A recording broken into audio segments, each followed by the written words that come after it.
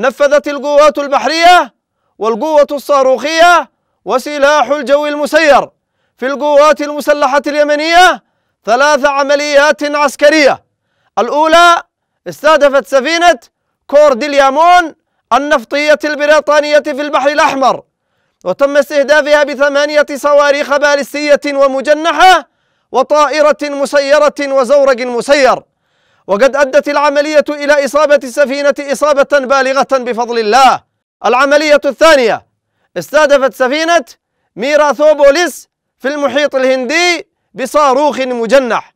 والعملية الثالثة استهدفت السفينة مجددا لانتهاكها قرار حظر الدخول إلى موانئ فلسطين المحتلة.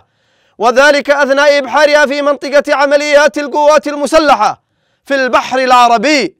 إلى الشمال الشرقي من أرخبيل سقطرى اليمني وتم استهدافها بطائرة مسيرة وأدت العملية إلى إصابة السفينة بشكل مباشر.